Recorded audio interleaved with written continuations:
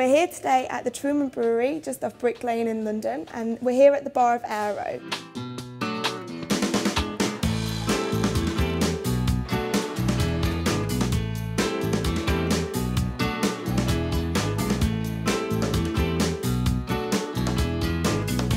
When you put your cup underneath, it automatically serves you a really nice serving of piping hot chocolate while you get surrounded by bubbles, which is really good fun.